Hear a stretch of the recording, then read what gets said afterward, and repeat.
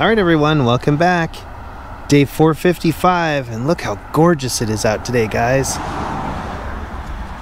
Man.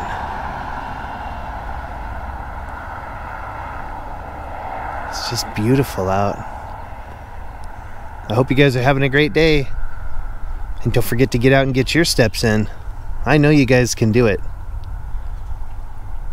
Especially on a day like today. there was a there was a woodpecker out earlier and he was squawking at me and I tried to get the camera and get out in time but I missed him but I'll see if I can catch him tomorrow for you guys. I'll see you guys tomorrow. We'll do it again.